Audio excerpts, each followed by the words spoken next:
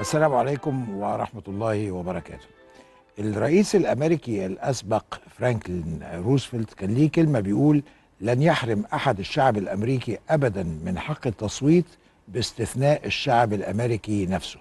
والطريقة الوحيدة التي يمكنهم من خلالها القيام بذلك هي عدم التصويت. وفعلا نفس الحكاية إحنا بنقولها هنا في مصر. عجبتني المقولة. لن يحرمنا أحد من حق التصويت إلا إذا حرمنا نفسنا من هذا الحق.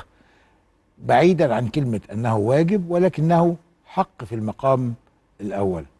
واجبك أحيانا بتأديه واحيانا لا تؤديه لكن حقك قدر الإمكان بتحاول إن أنت تأخذ كل حقوقك حقوقك والطريق للحصول على كل الحقوق هو بعض هذه الحقوق على رأسها التصويت لمن تختاره.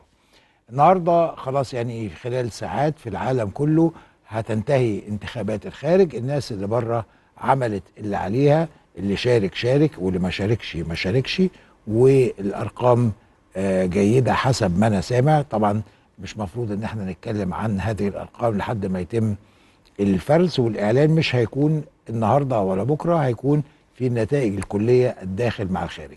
لكن خلينا نتكلم عن ال- الانتخابات في الخارج اللي بتنتهي وانتخابات الداخل اللي هتبدأ يوم 10 ديسمبر إن شاء الله ونقول إيه اللي هيحصل وماذا نتوقع وماذا نريد.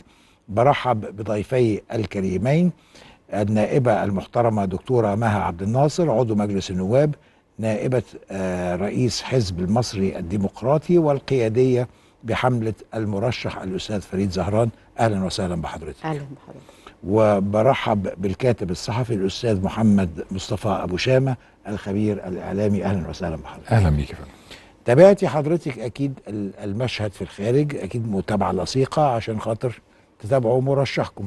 المشهد كله على بعضه شكله إيه بالنسبة لك؟ المشهد على بعضه يعتبر جيد إلى حد كبير. طبعا يعني أكيد كلنا واخدين بالنا إنه اللي حصل في المنطقة وموضوع غزة يعني قلل من اهتمام كثيرين جدا بانتخابات الرئاسة ولكن فعلا كان معايا ضيوف امبارح بيقولوا العكس بيقولوا زود الاهتمام لا أنا يعني صرف بعض صرف الاهتمام بعض آه. الاهتمام وفي ناس يعني كانت مهتمة بال- بالموضوع وبالمتابعة لكن الأحداث كانت يعني آه، يعني زي ما بيقولوا كده اوفر يعني كانت مغطية الناس، آه آه. على على كل حاجة فمخلية الناس مش قادرة قوي تتابع الحملات بتاعه المرشحين تتابع اللي بيقولوا إيه تتابع كلامهم. آه لكن في نفس الوقت اللي إحنا شفناه من يعني التصويت بالخارج إلى حد كبير يعتبر جيد. يعني في ظل هذه الظروف أنا شايفة إنه نزول الناس في كل يعني الدول المختلفة سواء بقى يعني دول عربية أو دول أوروبية أو أمريكا وكندا. لا إحنا شفنا ناس وفي ناس الحقيقة كتير هناك صوتوا لنا وكانوا بيسجلوا فيديوهات وبيقولوا إن هم ليه بيصوتوا و... و... و... صوروا الاستمارات؟ لا مش عشان ده ممنوع ده. لا مش تصوير استمارات لكن بيخرجوا على. اللجنة وبيصوروا الحالة وبيقولوا وجهة نظرهم إن هم مثلا بيصوتوا للمرشح للأسباب ديت زي أي حد يعني بي صحيح. بيقول إن هو بيدي صوته ليه يعني فالحالة يعني إلى يعني في مجملها جيدة. طب أستاذ محمد حضرتك ناس كتير بتتكلم يقول لك المصريين اللي في الخارج زي الكثير من من الجنسيات اللي بتكون في الخارج خلاص هم راحوا عندهم حياتهم وانفصلوا عن المجتمع وانفصلوا عن قضايا المجتمع.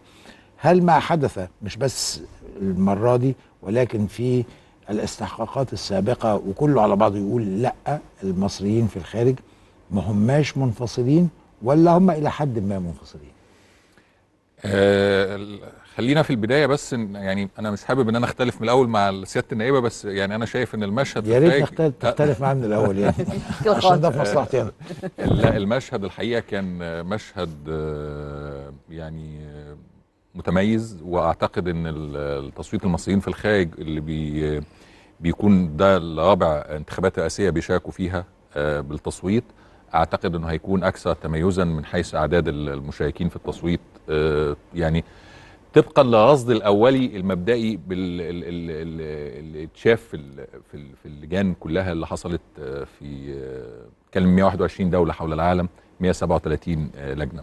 وده راجع لعوامل كتير آه، يعني في مقدمتها موضوع غزة برضك. يعني أنا شايف آه، اهتمام المصريين بالانتخابات وده مش شوف آه، من التلفزيون. أنا يعني يعني أنا يعني لفيت أكتر من محافظة مصرية وتعاملت مع في و- ومدن مصرية.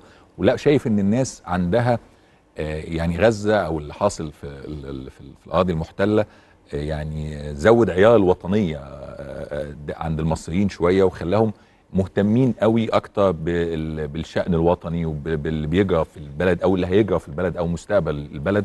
وأنا شايف إن ال- الانتخابات سواء في الداخل أو الخارج جزء منها آه، هو تصويت على موقف الدولة المصرية من اللي بيجرى في غزة. يعني الارتباط ال- ال- ال- ال- اللي حاصل بغزة في الانتخابات سواء على مشاعر ال- الوطنية اللي زادت خلال الفترة الأخيرة أو على مستوى ال- الاهتمام بالتصويت آه، آه، آه، كنوع من أنواع التأييد أو الدعم لمواقف معينة حصلت في الفترة الأخيرة فيما يتعلق بغزة أعتقد إن ده هيكون سبب من أسباب ارتفاع نسبة التصويت. في سببين تانيين مهمين جدا ما ينفعش ما بس حضرتك بتتكلم كده على الداخل لغاية دلوقتي. الاتنين. اللي أنا حاسس بيه إن حضرتك بتتكلم على لا لا أنا بتكلم على الاثنين. السببين التانيين يمكن شوية هنتكلم بقى على الخارج بقى. فيهم السبب ال- الأولاني هو الاهتمام اللي حصل في العشر سنين اللي فاتوا بالمصريين بالخارج آه، اهتمام آه، متتالي وبناء على خطة واضحة ورؤية متكاملة من الدولة المصرية. يمكن المصريين في الخارج يرجع لهم حق التصويت بقرار قضائي في 2011 لكن رجع الاهتمام الحقيقي بيهم بعودة وزارة الدولة ال- الهجرة وشؤون المصريين بالخارج سنة 2015 آه، وابتدى يبقى في تنظيم ما للعلاقة مع المصريين بالخارج واتوجد في يعني وزيرتين متتاليتين آه، تولوا مسؤولية الوزارة ال- السفيرة نبيلة مكرم والسفيرة سهى جندي آه، يعني عملوا حيوية في في العمل داخل الوزارة وده كان راجع من دعم كبير من آه، سيادة الرئيس ومن رئيس الحكومة واهتمام الدولة المصرية بهذا الملف بشكل كبير يمكن كان في مؤخرا مؤتمر للمصريين في الخارج بالخارج في, القاهرة في يوليو الماضي. الشق الأول الشق الثاني الشق الثاني يتعلق ب المشهد الانتخابي ككل اللي بيأتي تتويجا لمسيرة من الإصلاح السياسي آه، في العامين الأخيرين آه، واللي كان أهم حدث فيها كان الحوار الوطني والانتخابات دي بتأتي ثمرة آه، لهذه المسيرة اللي حصل فيها خطوات مهمة وحصل فيها توافق وطني كبير وحصل فيها يعني عدد من الإنجازات الطيبة اللي خلت المشهد فيه حيوية وبيدي امل في مسار تطور ديمقراطي آه، كبير في الفترة الجاية إن شاء الله. حضرتك قفلت لنا الحلقة كده تمام يعني. مش كده؟ كلام كلمتنا عن كل الموضوعات بس. حضرتك حضرتك لو عندك. تعليق آه حضرتك أكيد عندك تعليق على كلام الأستاذ محمد. اتفضل. آه، يعني مع احترامي الشديد لكل الكلام اللي لا لا ما أنا اختلفت. أنا أنا اللي أنا اللي ابتديت بقى فما فيش يعني مشكلة. آه. فاولا أنا ما زلت شايفة إنه لأ أنا أنا مش شايفة إنه فيه اهتمام بالمصريين بالخارج بدرجة جيدة خالص بالعكس وده الكلام ده أنا مش بقوله. أنا ما بحبش الكلام المتزوق. يعني لو هنتكلم بقى على قرايبنا وأصحابنا أولاد إخواتي اللي اللي مهاجرين ومين اللي بيدرسوا بره ومين اللي بيشتغلوا فين لا دول مش ح- مش شايفين حضرتك أصلاً. سافرتي لفيتي شفتي الناس بره عشان تتابعي أحوالهم ولا ولا من جوه مصر تابعتي ده؟ كده وكده. سافرتي يعني. اولا أنا بسافر كتير وغير السفر أنا على اتصال بناس كتير بره وليا أصدقاء كتير جدا مصريين مسافرين. في مصريين كتير. أنا مش بقول إن مفيش مبادرات اتعملت ومفيش محاولات للاهتمام بيهم ولكن ال- الصورة الوردية الجميلة دي بتاعت إن إحنا عملنا كل حاجة وإنه لا بس هو المصريين خلي بالنا في بالخارج بره- بقوا بره في- بره في- جدا ده ما الحقيقة يعني مش- موجود خالص في الحياة يعني. في بقصد 10 حاجة مليون. مصري بره. بالظبط فما نقدرش. والظروف بتختلف. اولا من يعني من ريجن لريجن من منطقة لمنطقة من بلد لبلد. من حالة اقتصادية للشخص المصري الموجود في الخارج هو ممكن يبقى طبيب وممكن يبقى عامل بسيط. بالظبط. فطبعا كل واحد فيهم الخدمات بتوصل له بشكل معين بصورة معينة لكن أعتقد اللي كان بيعنيه الأستاذ محمد إن حصل انتقال للأفضل في ده بدل ما كان الملف راكد بالظبط. لفتره في طويلة. في هو ده محاولات للتواصل حقيقية حصلت ولكن ما زلنا نفتقد لتواصل مع شريحة مهمة جدا كل الشباب اللي سافروا. القطاع بتاع الاتصالات وتكنولوجيا المعلومات بتاعنا اللي صدر آلاف من ال- الشباب النوابغ اللي بيشتغلوا في كل دول أوروبا وفي أمريكا دول ما فيش تواصل معاهم خالص وشبه منقطع ال- ال- التعامل معاهم مع مصر اللي بيدرسوا بره اللي واخدين scholarships يعني اللي مش بيدرسوا تبع الدولة ولا حاجة هم واخدين منح أو بيسافروا على حسابهم. دول إلى حد كبير جدا حتى مش مسجلين. أنا مستغربة إنه إزاي دولت بيبقوا بيدرسوا ودول مصريين وبيدرسوا منهم بنت أختي يعني عشان بس يعني مش بنتكلم على ناس ما طب, نعرفهمش. طب بنت أختك ما سجلتش نفسها ليه لما سافرت؟ ما هي فكرة متهربة إيه- بنت أختك دي. إيه إيه اللي بيخلي إيه اللي, إيه اللي بي بيقول لل للشباب دول إنتوا لازم مثلا تسجلوا ولو سجلتوا ده هيبقى لكم إحنا مش مش مع التهديد إحنا مع الترغيب. إنه مهم إن إنتوا لما تسجلوا ويحصل لكم مشاكل هتلاقوا في ظهركم حاجة اسمها السفارة المصرية وحاجة اسمها القنصلية وهيساعدوكوا لو في كذا يعني انت وكذا. بنت أختك ما سجلتش نفسها؟ أنا أولاد اخويا مسجلين نفسهم. مش عارفة ده غريب. ده غريب برضه. وما هماش في السعودية ده هم في أمريكا يعني ف يعني يعني في- يعني في وفي. في وفي. ما هو ده اللي أنا أقصده وهنا- فكرة إن أنا أقول أعمم. حضرتك فتحتي نقطة على فكرة مهمة قوي. هي نقطة الوعي. هي نقطة ان إن النهاردة واحد السؤال بيقول هل المصري اللي في الخارج ما بتوصلوش الخدمات أصلا؟ ولا هو مش غير مهتم بالخدمات؟ ولا هو حاول يحصل على الخدمات ولا يحصل عليها؟ أعتقد إن الثلاثة موجودين. بالظبط. فإحنا لازم نبتدي بكل واحدة فيهم نشتغلها ونشتغل عليه مع بعضها. بالظبط. يعني من من ضمن ال- الحالات يعني أنا ليا صديقة مهاجرة مثلا في كندا اولادها علشان هي مثلا في فانكوفر وال- والسفارة في تورونتو. عشان يتواصلوا مع السفارة. ويعملوا ورق للولاد. هي قعدت سنة مش عارفة وبعدين بين تورونتو وفانكوفر يعني سفر انت رهيب. شايفة الحل يبقى إيه؟ يبقى في كل مدينة في قنصلية لا يكون في تواصل جيد يكون في آه، وسائل إلكترونية مش انت بتاعت للتواصل. الاتصالات يا ماشي دكتورة؟ ما هو بس أنا بتاعت الاتصالات مش انت- أنا اللي انت- ماسكة الكلام أنت ده بتاعت الاتصالات يا دكتورة؟ انت المفروض تبقي حريصة من ده وعلاقتك طيبة جدا. بكل الناس اللي موجودين في قطاع الاتصالات. ده يعني حقيقي. بالتأكيد ده بس دي مسؤولية عليكم ك هكلمك بقى بعيدا عن كونك نائبة ل- لمهندسة اتصالات في المقام الأول يعني. يعني أنا شايفة إنه ما زلنا يعني آه في خطوات اتخذت لكن ما زلنا في حاجة شديدة جدا لإنه يكون في فعلا زي بوابة جامعة بقى فعلا للمصريين بالخارج فعلا يسجلوا عليها ي ي ي والتسجيل ده يكون هيديلهم أي مميزات. مش مميزات تعيينيه لكن إن هم يبقوا مفهوم إنهم هيعرفوا يتواصلوا يقدر يلجأ. إمتى يقدر للسفارة؟ يقدر ي- يحصل يقدر يعمل أوراق بسهولة يقدر يعني حاجات كتير تسهل له أنا حياته. متذكر أعتقد في شهر سبتمبر 22 كان السيد وزير الاتصالات الدكتور عمرو طلعت في مؤتمر مصر الرقمية وأعلن قدام الرئيس إن هو عمل منظومة متكاملة للمصريين في الخارج. حضرتك أكيد كنت على حاضرة دراية آه. بس ما اتعملتش يعني ما شفتش حاجة يعني مش عارفة لا يمكن حضرتك ما شفتيهاش احتمال جايز بس يعني طيب. لو شفتها يا ريت تبقى تطلعها لنا خلينا لأن موضوعنا طبعا يهمنا جدا اننا نتكلم عن الخدمات المقدمة للمصريين في الخارج ولكن موضوعنا أكثر هو الانتخابات. الانتخابات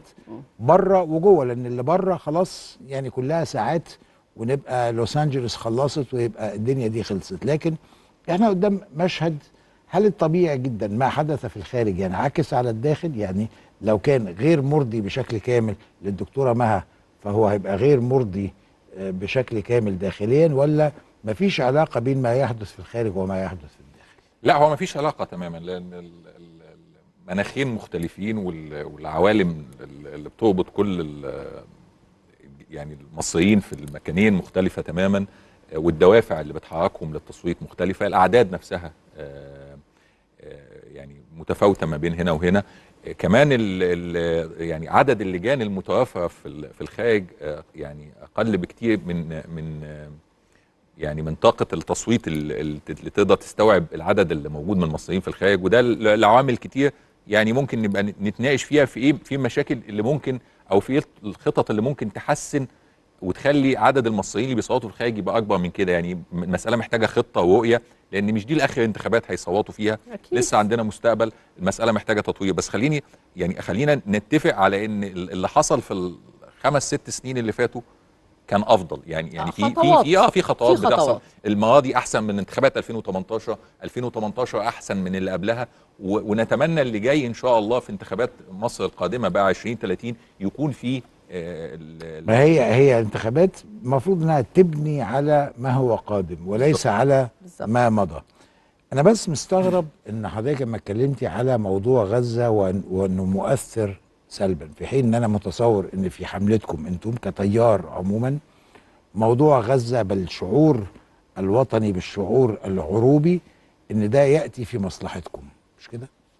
هو يأتي في مصلحتنا إن إحنا بنتكلم على موضوع يهم كل الناس يهم ال- ال- ال- المصريين ومرتبط كلهم بالتيار بتاعكم وأنتم. مفوهين في الموضوع ده يعني. إحنا مفوهين في كل في موضوع كل المواضيع ده تحليلي الشخصي. تمام. يعني أتفق معاكي أو أختلف في, في الأعداد ولكن الاهتمام الحمد لله إن الاهتمام موجود. موجود كنت طبعا. أتمنى ألا يكون العدوان موجود ولكن يمكن تكون هناك مزايا لما حدث. اولا تحركت القضية الفلسطينية بعد صحيح. طول ركود وفي نفس الوقت أثرت سلبا وايجابا على المشهد الانتخابي. مش هنختلف إذا كانت سلبا ولا ايجابا ولكن في المجمل أستاذ محمد. تأثير إيجابي. أنا شايف بنتكلم على غزة تحديدا اللي حصل في غزة كان له تأثير إيجابي. أنا لمسته في التعامل مع الناس يعني لأن ما قبل الانتخابات كان في حالة خمول وفتور حقيقية حاصلة يمكن سببها الأزمة الاقتصادية سببها المعاناة اللي كان فيها الناس. لكن اللي حصل في غزة باوز للشعب المصري مدى أهمية الأمن والاستقرار مدى أهمية وجود دولة. إحنا يعني باللي حصل لغزة اتقفلت على مصر مثلث الحدود الثلاثه ثلاث حدود يعني الغربية حكومتين ال- الجنوبية جيشين ال- ال- الشرقية سلطتين بيتنافسوا على دولة وسلطة احتلال. فحدود مشتعلة وملتهبة تخليك تتشبث الو- الوحيد. اللي على الحياد هو البحر. آه البحر بالظبط كده. البحر الأبيض. المتوسط مش الحاد قوي أمريكا حاطة فيه حاملات طاقات وكده. ففي النهاية إحنا بصدد يعني آه، حدود مشتعلة جدا فبتخليك تحس أكتر بالوطن تخليك آه، تبقى مهتم إنك تنصره بشكل حقيقي. يعني فكرة النصرة المصطلح ال- أو الكلمة اللي بقت داجة على لسان المصريين نصرة للشعب الفلسطيني ونصرة لغزة أصبحت بتتداول نصرة إلى الوطن المصري بأننا مشاركتي الإيجابية بالتصويت لأي من المرشحين الأربعة هو نوع من النصرة بان أنا بكمل صح. المسيرة اللي بدأت في الإصلاح السياسي والمسار الديمقراطي اللي بيتطور والانتخابات دي بالفعل يمكن ال- ال- اللي قالته سيادة النائبة فكرة المؤتمرات الجماهيرية واللقاء مع الناس والحوار مع فئات من المجتمع إحنا ما كناش بنشوفها في القاهرة وما كناش بنتعامل معاها كتير في كل محافظات مصر ده خلق حالة حيوية كبيرة جدا في المشهد السياسي. عظيم. هنتوقف بقى مع فاصل ونرجع ونستكمل هذا الحوار. الحقيقة بدأ ساخنا ولكن بنقترب إلى حد ما في وجهات النظر ولكن أتمنى أن يظل هذا الحوار على سخونته. نلتقي بعد الفاصل.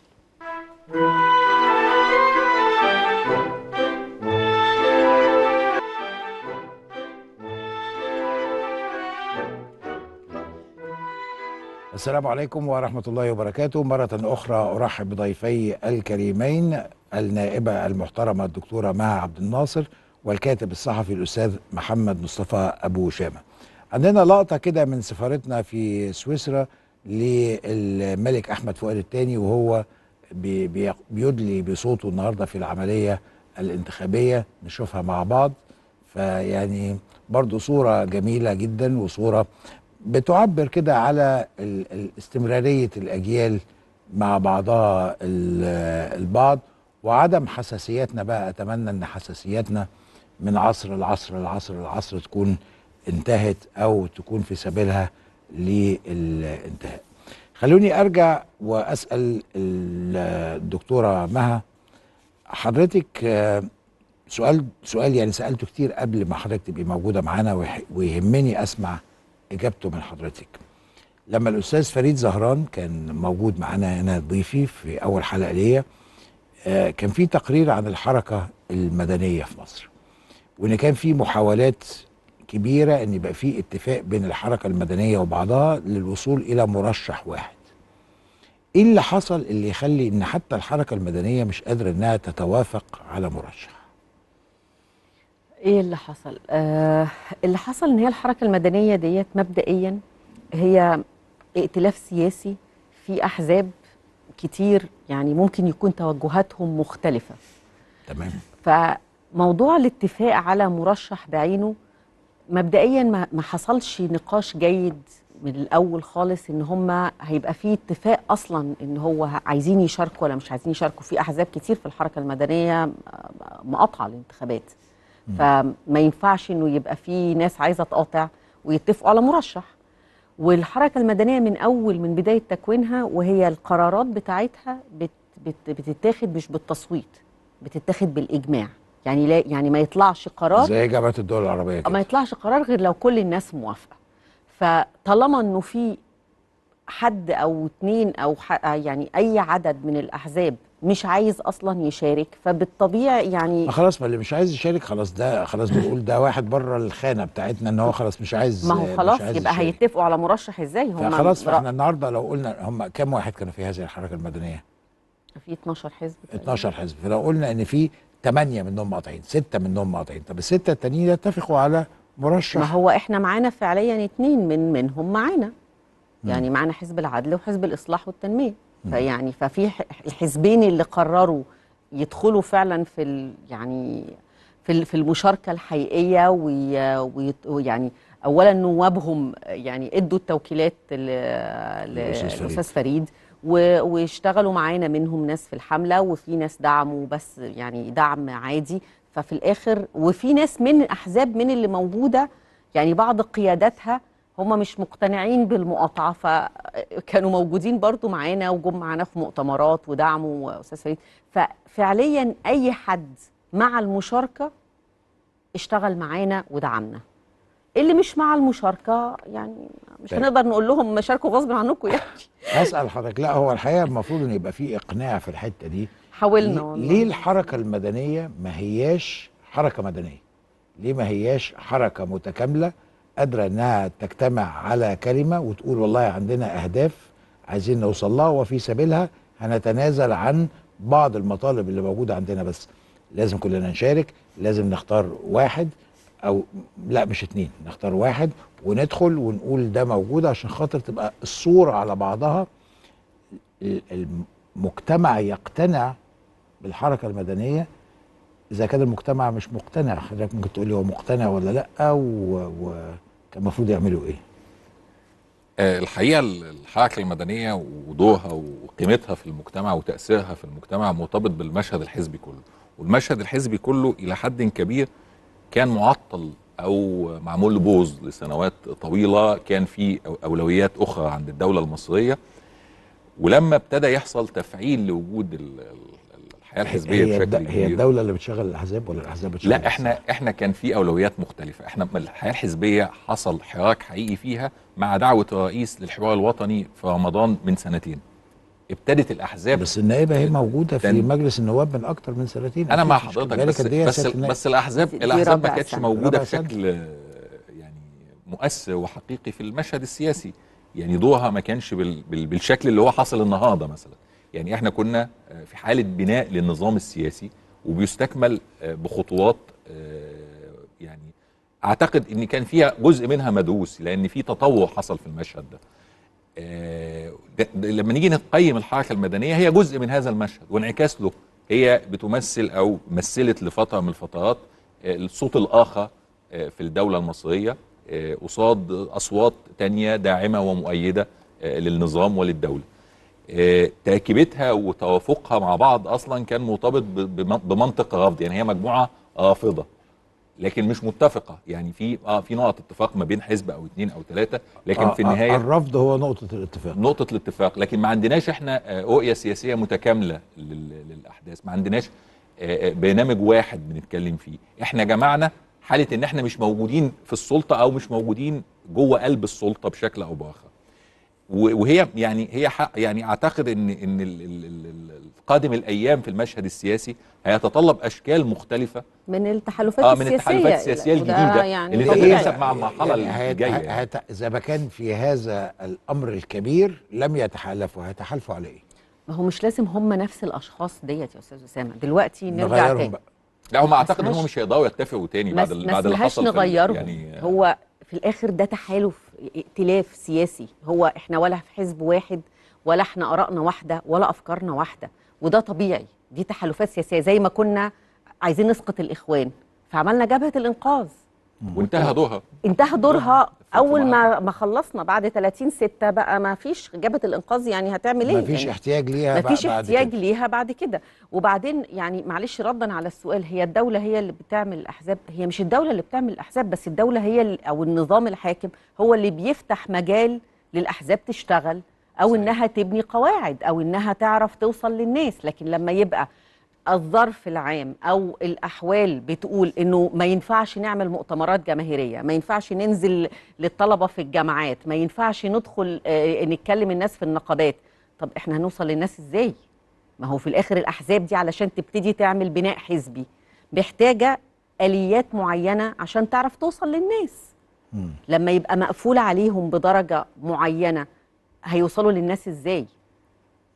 البناء الحزبي ده بياخد وقت طويل. يعني الأحزاب اللي بتحكم يعني أنا آه، يعني كنت قابلت ناس من الحزب ال- ال- الاشتراكي الديمقراطي في ال- آه، في ال- في الدنمارك في كوبنهاجن في 2012 كنا إحنا بالظبط يعني أو يعني أواخر 2012 كنا إحنا آه، يعني بقالنا سنة وهم كان بقالهم 101 سنة.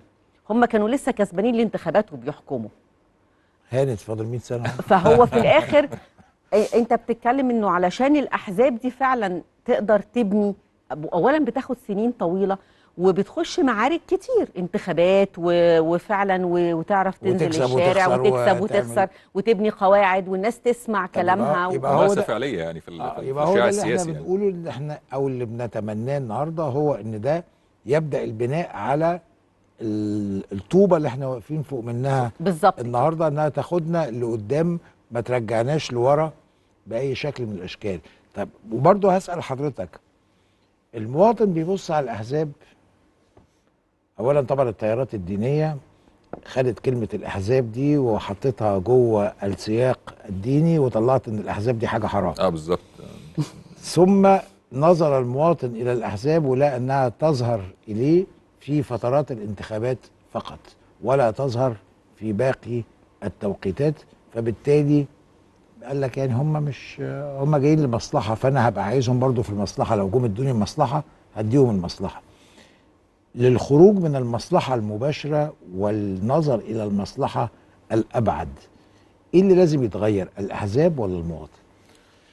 لا الأح- الاثنين لا لا الأحزاب لا طبعا الأحزاب. أنا عايز أقول لحضرتك على حاجة. إحنا ال ال ال السنة الأخيرة كمان بالذات إحنا آه يعني تعاملنا مع بعض كأحزاب سياسية واتفرجنا في الحوار الوطني على هو حضرتك حضرتك. حزب إيه؟ ال- الاتحاد حزب الاتحاد آه، والتيار الإصلاحي الحر إحدى التحالفات السياسية الموجودة وبتأيده الأستاذ فريد ولا بتأيده لا من ايد رئيس عبد الفتاح السيسي بتأيده الرئيس عبد الفتاح السيسي تمام آه، في الفترة ال- ال- السنة الأخيرة دي يعني أنا أنا أدعي إن أنا شخصيا كنت متواجد في أو بشارك في الحياة الحزبية من منطق إن أنا أقدر أبقى بتكلم وأنا واقف على أرض صلبة. ال- ال- ال- الحياة الحزبية في مصر محتاجة آه، هدم تام وإعادة بناء جديدة. هدم الايه؟ لكل أنا أنا شايف إن يعني أنا يمكن ده كتبته كمان كتبته يمكن أكتر من مرة واتنشر في آه، في جرايد مصرية إن خطوة تصحيحية حقيقية للأحزاب هو إعادة آه، إصدار قانون جديد للأحزاب السياسية أول خطوة فيه هو حل الأحزاب القائمة كلها وإعادة اشرارها من جديد وفق لهذا القانون الجديد وأعتقد إن من جزء من المناقشات اللي تمت في الحوار الوطني هو المسألة المرتبطة بال- بال- بالأحزاب وشكل وجودها وشكل تمويلها وشكل النظام التأسيس فيها وكل كل ما هو مرتبط فيها لتصحيح مسارها وإنها تصبح كيانات لها قيمة ولها شخصية اعتبارية منضبطة وواضحة قدام الرأي العام. أنا دلوقتي عايز أسأل أي حد موجود في حزب سياسي أنت إيه اللي بي بي بيؤكد أو بيوثق عضويتك في الحزب؟ إيه اللي بي آه بيخلي الأحزاب دي تبقى آه يعني تحت بشكل أو بآخر تحت إشراف آه آه آه مستمر في كل فعالياتها وفي كل أحداثها وفي كل أنظمتها؟ تحت إشراف مين؟ آه، المفترض يعني يبقى في جهات آه، قضائية بتشرف على أعمالها بشكل أو بآخر في جهات مالية بتشرف على أعمالها بشكل أو بآخر يعني في جهات رقابية عشان يبقى في شكل من المصداقية والشفافية قدام المجتمع. ما الأحزاب دي تجمع من مجموعة من آه الناس. من الناس. كويس. إحنا ما فيش أي تجمع في في الدولة. كويس. مش بيمر على القنوات الشرعيه عشان يبقى موجود زي الجمعيات اللي بتروح. لوزاره التضامن بالظبط. والأندية كويس الأندية طب والأحزاب. المفروض إنها تبقى تابعه لإيه؟ حاليا لجنة شؤون الأحزاب لجنة لجنة الأحزاب ما, شؤون ما. ما بتتعاملش معاها غير في ال- في الإشهار بس يعني مساله مسألة آه، سوء حضرتك يعني شايف إن المفروض مين بعد كده يبقى هو اللي بيتابع شؤون والله الأحزاب؟ أنا أعتقد إن المفترض إن يبقى في هيئة من الأحزاب نفسها كويس هي بتنظم عملها وبتكسبها المصداقية أمام الراي العام الأحزاب يتقدموا بيها لمين إزاي؟ بالظبط يعني يعني لما لما أحب أكلم اللي هيشرف على اللي أكلم مين؟ بالظبط؟ أكلم مين؟ أعتقد إن إحنا بس محتاجين فترة انتقالية كويس. يعني ممكن تبقى سنة أو اتنين عشان يتعاد فيها تأسيس الأحزاب. عشان أنا أبقى شايف ال ال ال أنا أنا ليه كمواطن ببص للأحزاب ومش مش مستوعب يعني وجودها الحقيقي. ال ال يعني ايا كان الكيانات وأسماء الأحزاب الموجودة في الحياة السياسية في النهاية تأثير في الحياة في المشهد السياسي مرتبط بالأفراد. يعني ثقل أي حزب سياسي مرتبط بالشخص ده في المنطقة دي أو في الدايرة دي أو في المحافظة دي ووجوده هو اللي بيبقى مفتاح وجود لهذا الحزب أو هذا الكيان أو هذا التيار اللي موجود. فإحنا في النهاية لازلنا يعني الحياة السياسية مرتبطة بأشخاص مش بأحزاب لأن الأحزاب لم تنجح حتى هذه اللحظة. إنها تكتسب مصداقية؟ عملنا بقى موضوع الحزب بالاختار والكلام ده كله على أساس إن ده ممارسة ديمقراطية. فنتج عنها إنك أنت أسهل تعمل حزب عن إن أنت تعمل فريق كورة. بالظبط. إحنا عندنا 100 مية- يعني طبقا الارقام 109 حزب كويس. لما تشوف الأحزاب دي وتاثيرها وتشوف رؤساء الأحزاب دول طبعا مع تقديرنا في خمس ست سبع 10 أحزاب مهمين في مصر. لكن أنا عندي 90 حزب عاملين دوشة كويس بأسماء وبعدد والله لكن في النهاية لو عاملين دوشة أنا كنت هبقى مبسوط. على فكره مش كنت لسه أقول لك هم ولا عاملين دوشة ولا حاجة دوشة هم على مستوى مش مضايقين حد على فكرة. لا عاملين خناقات مع بعض يعني, يعني يعني ما- في الآخر ما مش مضايقين حد برضه. ولا حتى شايفين الخناقات دي. طب فاصل أخير ونستكمل هذا الحوار الممتع الحقيقة.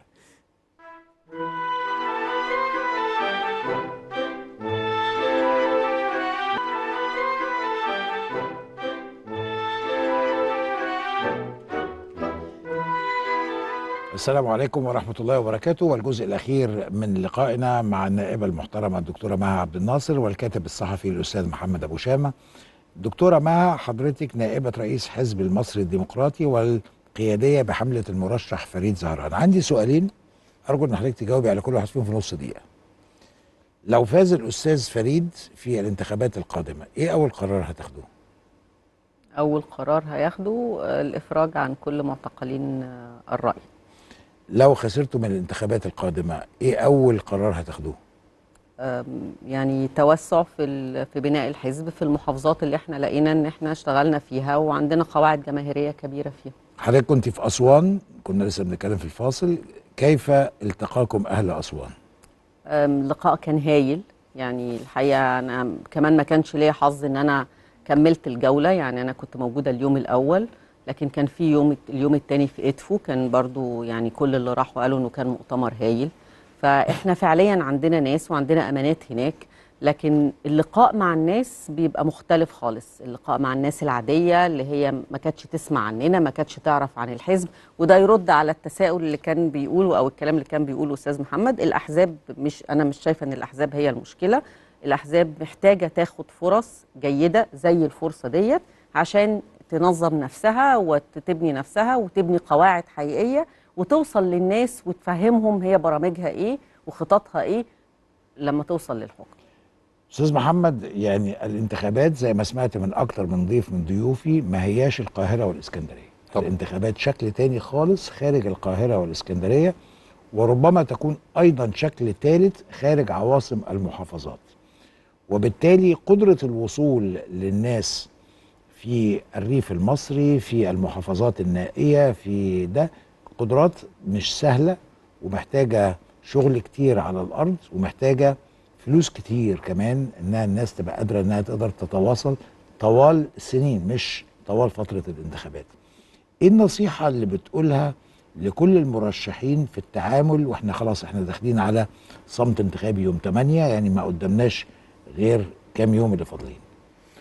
الحقيقة ال- يعني أنا يمكن آه، يعني مختلف شوية مع حضرتك في إن في- صعوبة الوصول للناس دلوقتي. لا بالعكس إحنا يعني في الزمن ده بقت المسألة أبسط شوية. من 20 سنة فاتت مثلا كان الوصول للناس آه، أكثر تعقيدا وأكثر آه، آه، احكاما واغلاقا من قبل بس آه، الواتساب والإيميل مش هيقوموا بمقام الشغل ده كله. بس بس عاملين تأثير برضك وعاملين حالة. لكن أنا معاك طبعا إن ال- ال- ال- التعامل الجماهيري المباشر آه، آه، بيفرق كتير.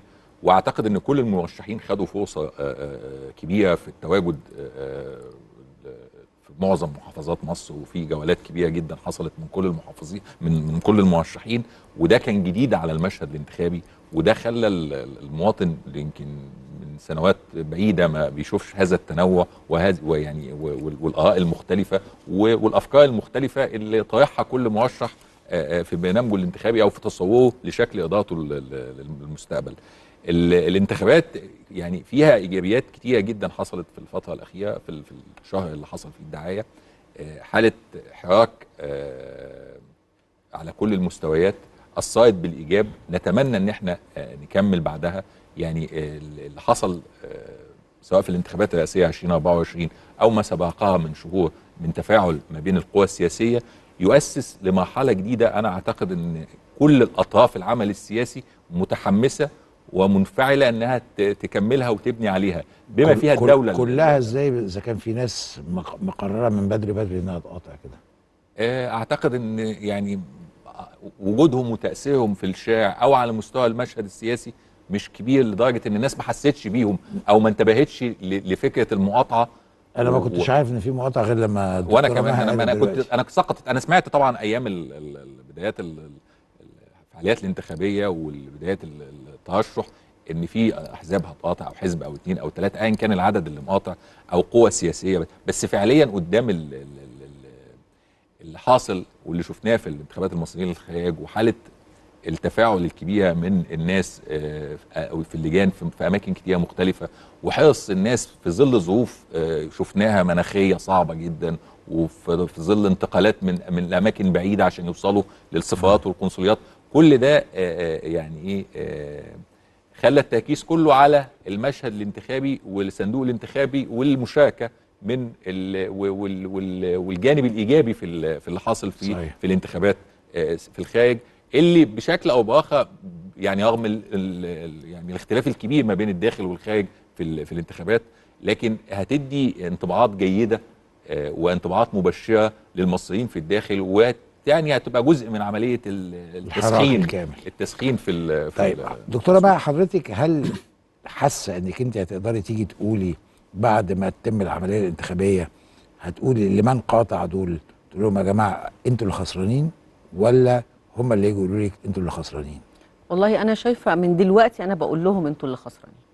لأن أنا شايفة إنه المكسب الحقيقي مش بنتيجة الانتخابات أو باللي هيحصل في الانتخابات. أنا شايفة إنه المكسب الحقيقي. بالعملية صحيح. وباللي حصل في الشهر ده. ال- المشاهد اللي إحنا شفناها في في الشارع ويعني تعاملنا مع الجماهير بعد سنين من إن إحنا ما كناش قادرين نعمل الحاجات ديت ونعمل المؤتمرات دي ونشوف الناس ونلف المحافظات دي كلها أنا شايفة إنه ده مكسب. الحقيقة يعني أنا رأيي الشخصي إن هم خسروا كتير. طيب الب- البدايات وكان زي ما الأستاذ محمد بيقول البدايات من شهر ولما حصل كذا وكذا. مهندس حازم عمر على وجه الخصوص رغم إن علاقتي بيه كانت بسيطة جدا لكن كان من فترة ثلاث أربع شهور وهو بيبعت لي على تليفوني على طول مستجداته وأخباره بيفكر في إيه وحتى بيعرفني بنفسه صورته مع لولا دي سيلفا وما إلى ذلك ما عملتوش كده ليه؟ لا إحنا كنا بنعمل كده بس مش لفريد زهران يعني إحنا كنا بنعمل كده إحنا بالنسبة لنا بس هو فريد مش شخص فريد بيمثل حزب سياسي وبعض الأحزاب اللي معاه وبيمثل فكرة بيمثل فريق اللي هي إيه الفكرة؟ اللي هي فكرة التحول الديمقراطي فكرة إن إحنا شايفين إن إحنا مؤمنين بالديمقراطية الاجتماعية اللي إحنا كحزب شايلين اسمها يسار الوسط اللي هي مع العدالة الاجتماعية مع إنه يبقى الاقتصاد بشكل معين مع إنه يبقى في أولويات للصحة والتعليم. ال- ال- الفكر ده كله اللي هو إحنا اللي أنا ببعته لك اللي أنا بقوله في المجلس اللي غيري من النواب بيقولوه لما بنطلع بن- بنوافق على حاجة أو بنعترض على حاجة. هي دي الفكرة هي هو ده الرأي هو ده الفكر السياسي اللي إحنا بنبني وبنرسخ ليه مش بس اسم فريد زهران. آه هو نازل انتخابات وإحنا بندعمه وطبعا شغالين في الحملة بتاعته لكن في الآخر هو فريد ما طلعش كده لوحده. هتديله صوتك؟ أكيد. تسأل سؤال صعب قوي طيب وإحنا بنسأل برضو الأسئلة ال- الأسئلة الصعبة دي. النهارده لما نيجي نتكلم ونقول ماذا بعد؟ لأن كلمة ماذا بعد أعتقد إنها بنفس أهمية وماذا سيحدث في العشر أيام ال- اللي جايين. ماذا بعد هو الحياة السياسية السليمة زي ما قلنا الصحية اللي الكل هيدفع بيها إزاي؟ عشان خاطر عشان خاطر ما يحصلش إن في طرف يبتدي يقول طب خلاص تم بحمد الله ناخد أجازة ست أشهر وبعدين نبقى نرجع نتكلم. أعتقد إن ده يعني إحنا يعني ال- ال- ال- الحزبيين أو العاملين أو المشتغلين بالعمل السياسي في مصر ما عندهمش رفاهية إنهم ياخدوا أجازة بالظبط. لأن في انتخابات قريبة يعني برلمانية سواء المجلس تمام. النواب أو الشيوخ وفي عمل سياسي يعني في في شهية اتفتحت على العمل السياسي زي ما سيادة النائبة وضحت كده فكرة ال- ال- الح- الحيوية اللي حصلت في المشهد السياسي مخلية الناس كلها آه، منفعلة ومتحمسة جدا لل- للفترة القادمة ما بعد الانتخابات الرئاسية.